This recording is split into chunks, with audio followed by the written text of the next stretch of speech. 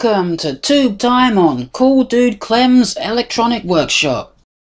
Alright, I just thought I'd do this little video here because I'm still doing more experiments with Tesla coils. Now I've put the GU81 to one side where it'll be safe while I just do some small scale experiments. Anyway, this is the setup that I've got right now. So I'll just take you through a little talk through of the circuits. Over here, this is the new and improved power supply. What we've got here is a 40 watt fluorescent ballast, magnetic ballast of course, and that's going into my rectifier, you know, my doubling rectifier, and then that's going into the circuit. Now, the advantages of that is that I don't have to use heavy transformers to get a good 600 volts into the circuit. Disadvantages is that there is no isolation from the mains. Anyway, I'm using one of those Russian clone PL500, whatever they are, clones. But you might have noticed there's no feedback coil. Where's the feedback coil? Well, there is a feedback coil. You can see underneath the secondary, you can see the feedback coil is right there, which is wound onto the bottom of the secondary, and that seems to work pretty good. Now, first time I powered this up, I didn't get much of anything. It did oscillate, but nothing, didn't really do anything, except make a lot of interference. However, I flipped the primary round, and now, when I plug it in, even though we don't get breakouts, well actually I tell a lie, we do get breakouts. Except it's not at this tip here. It's all along this wire. This wire, from the coil, glows blue with corona and it wiggles about like crazy. So I'm just going to plug this in now. I've got the tube all warmed up. And I'm able to see this thing in action. Yeah, you can see right there the wire. You can hear a hiss and corona. And in the dark, hopefully you'll be able to see it. Alright, the camera's going to blur out like crazy. Let me just fix the autofocus and I'll be right back. Okay, so here we are in low light. So you might be able to see the cor Oops. You might be able to see the corona on the wire now. So I go plugging it in. Yeah, you can see it right there. Let's do that again. And that's actually how it looks in real life. So there's not some weird thing going on with the camera making it look a bluish purple colour. That's actually what it does look like. Okay, I'll go on and put a little breakout point on there now, so now we don't get glowing wire. Although there's still no breakout, or at least not much of anything. And then we do get quite a decent like flyback like arc. I don't want to run that for too long because I can just feel the heat coming off that secondary. So anyway, let's just see what the frequency we're getting out of this is. Now, turn on my meter here. So I've got one lead, just sellotape to the wall, which is going to pick up the output from this. So I'll turn that on, and we're at about 396 kilohertz. If I adjust this, I can adjust the frequency. You couldn't really see it because my hand was blocking it, but I can tune in the frequency that we need from about 383 kilohertz to about 320, but it doesn't like that because it starts making a weird noise. Okay, so now I'm going to try it with the other coil again.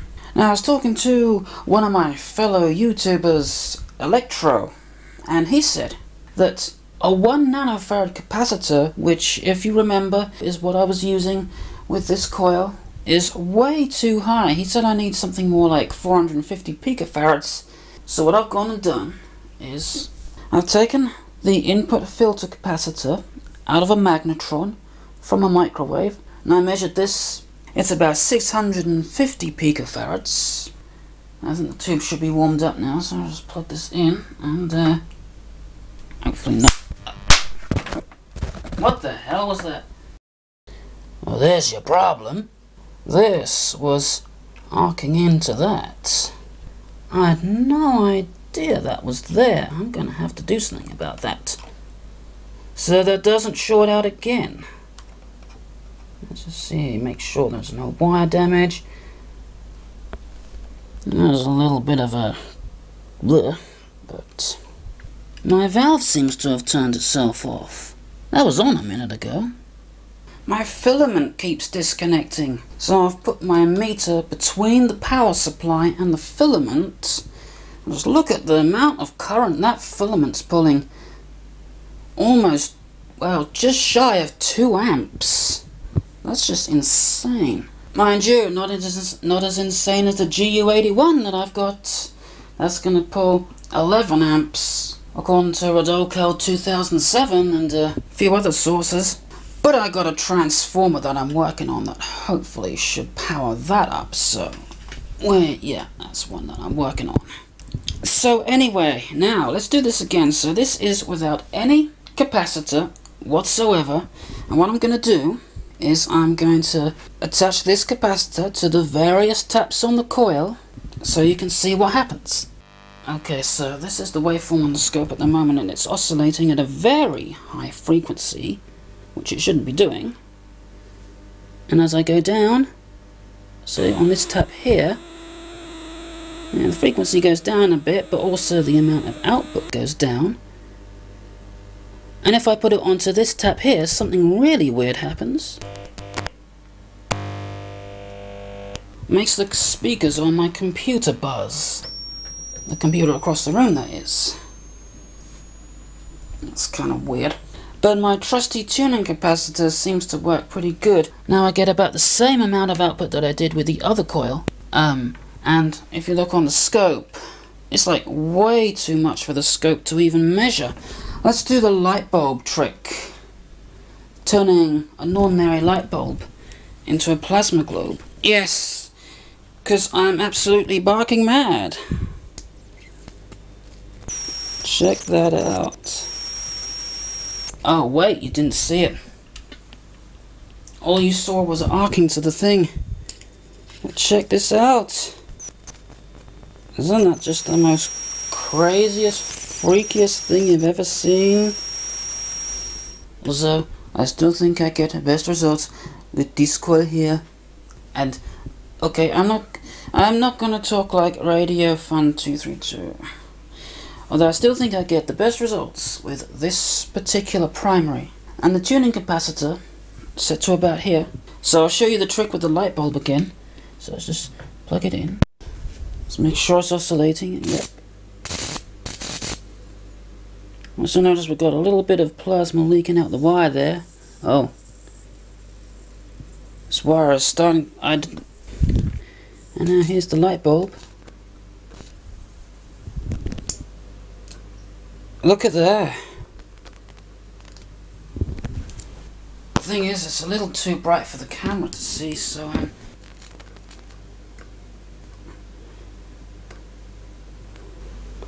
we'll check that out. There is a bulb turned into a plasma globe. And this is the transformer that's going to power the filament of the GU81. It's a toroid transformer where I've taken the secondary off and I've wound my own secondary on. I just took a whole bunch of wire and wound it on there so I don't know what the voltage is going to be. I'm going to plug this in now. Let's see what voltage we got. Okay, that's weird. The transformer made a popping noise when I plugged it in.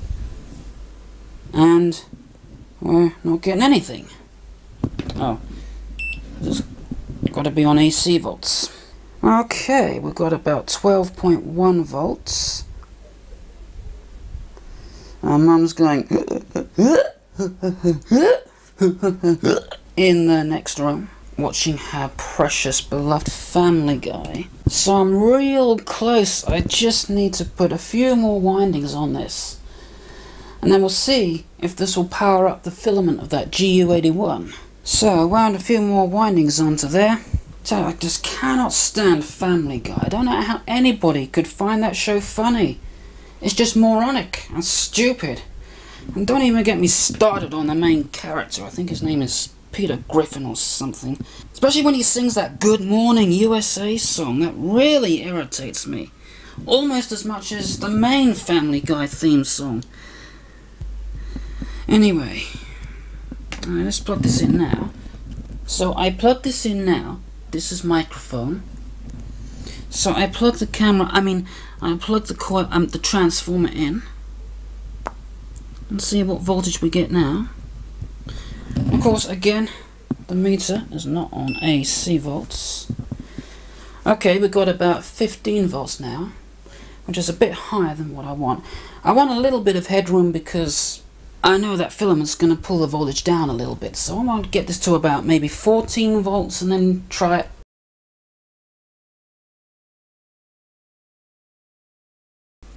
Here we go, we're going to see if my homemade transformer is going to power up the filament. I'm pretty sure that it will. And also, to make things easier, I've marked on the base of the tube which filament, I mean which connection goes where. And as you can probably tell, these are the two, these are the two filament connections. And there's the filament center connection, which I'm going to leave alone for now. I'm just going to connect the transformer across those two connections there. Alright, so here we go. My transformer's connected. I've also got my meter connected so we can see what the voltage is. So, let's plug in and see what happens. Does it light up? Is it going to work? And yes it is. Almost effortlessly. Okay, we've got 12 points. About 12.08 volts, so it's pulling the voltage down a bit. So I might add a couple of extra turns to the transformer but that's working really good. I'd like to know how much current that's actually pulling, but um, my meter only goes up to 10 amps. Oh hell, I'll do it anyway. Okay, here we are. Ignore this wire here. That's not doing anything. That's just that's just going to this clip here, which is holding the holding the wire on. So let's plug this in and let's see if we can measure the amount of amps this is taking. I really this will probably be too much for my meter to measure, but we'll see. Alright, we're drawing about 9.1 amps. Okay, well here it is all wired up. And I'm using the webcam's microphone because this might interfere with my regular microphone. So uh, we're about to test it with the GU81.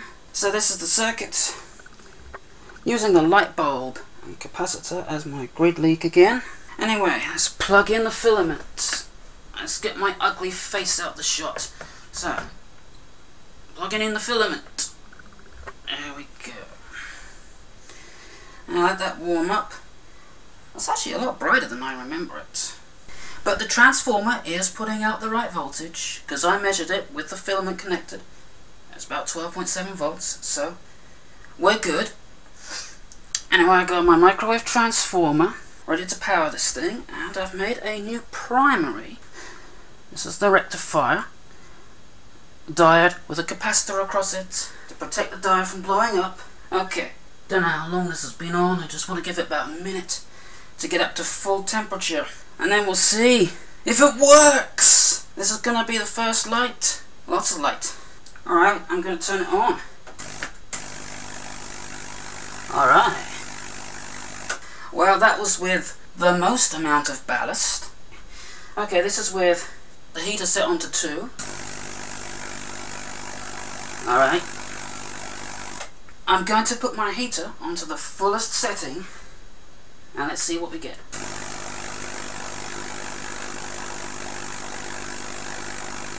Well, I don't think that's too bad for a first run. Alright, uh, this is not a good shot.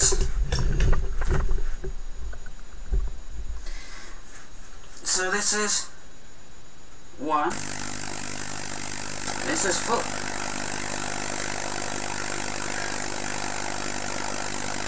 Well, I couldn't help myself. I just have to try this on a voltage doubler, which is here. This is circuit. So I've got no idea how well this is going to work. So let's see.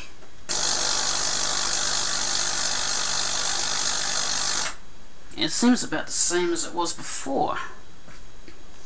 Let's just see if adjusting this makes any difference.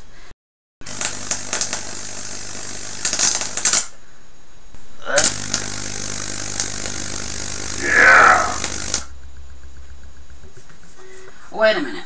Let me just sort out this stupid webcam. Yeah. Alright, so ready to test this thing at its full potential, or at least with as much ballast as my heater can provide. I really hope that my tuning capacitor's not going to arc over. I mean, it's in oil, but if it arcs over, it arcs over. Anyway, that's enough gabbling on. Now let's see the test. I have no idea how well this is going to work myself, but first, let's try it with the heater on the 1 setting. Okay. Yep, I think that's about as much as I'm going to get out of this. Although I think, actually, if I detune this a bit, I'm just adjusting the variable capacitor. Just adjusting a little bit, then testing. Seeing what gives me the best output. Thing is, you see, the streamers are going to detune it a little bit, so you gotta take that... Gotta take that into account.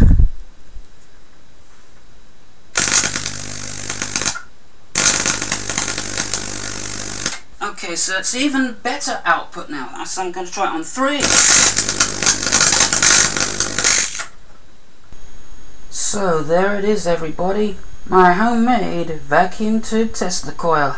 So before we go, I'm just going to do a little overview of the circuit now. Hopefully we won't have too much in the way of jelly vision. And yes, I know it's a little bit unfocused right now, but the thing is, I've got the autofocus off, so when we go up close,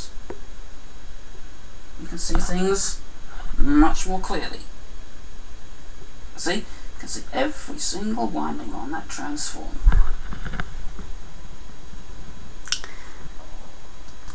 Also, I might be talking and then the camera might drift off and start looking at something else because the thing is, the screen is right behind me, so I cannot actually see what the camera's seeing unless I look behind me. So, um,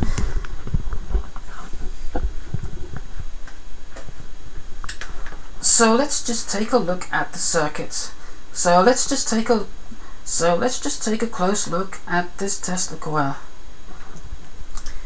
So over here we've got the power supply. This is the high voltage, low current part that supplies the high voltage. It's a microwave oven transformer connected to a capacitor then that goes into this diode with another capacitor across it. That's to prevent the diode from exploding because it filters out any RF going into that diode which would otherwise make it explode. So we've got one side of the diode, the negative side of the diode connected to the ground, and the positive side of the diode and goes out and into the circuit. This is the low voltage high current part of the power supply which is a toroid transformer that you saw me experiment with. So that gives out about 13 volts under load. So when that's connected to the filament that gives out about 13 volts which is a little bit high but it shouldn't damage anything and then of course we've got the tube itself. A GU81. The directly heated version. And back here, there's my grid leak circuit.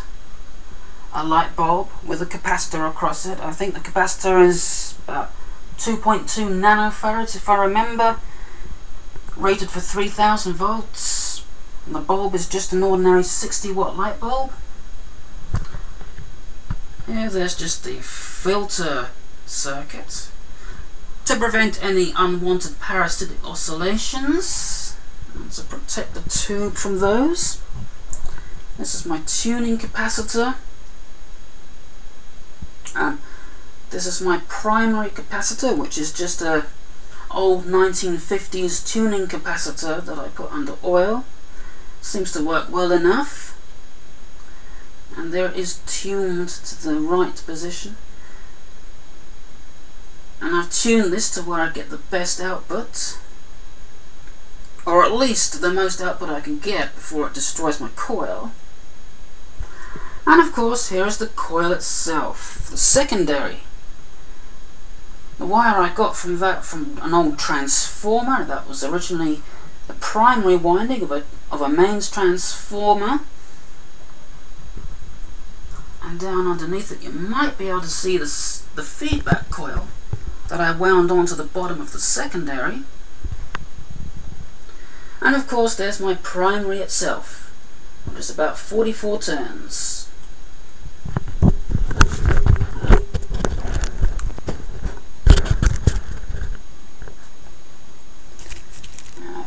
Primary up there, you can see the secondary wound onto the bottom.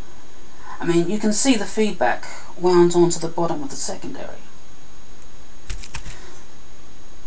That way I don't have to worry that way I don't have to worry about tuning my secondary. I mean, that way I don't have to worry about tuning my feedback. That way I don't have to worry about what position the feedback's in. That way I don't need to worry about where my feedback is because it'll work anyway. And well, that's the end of this video, so yeah. Until next time, goodbye. And kids, you can use my until next time goodbye. I have absolutely nothing against that, so yeah. Well, you know. Weeble Wobble Clem, get out of here. We do not want you. We don't we don't want Weeble Wobble Clem.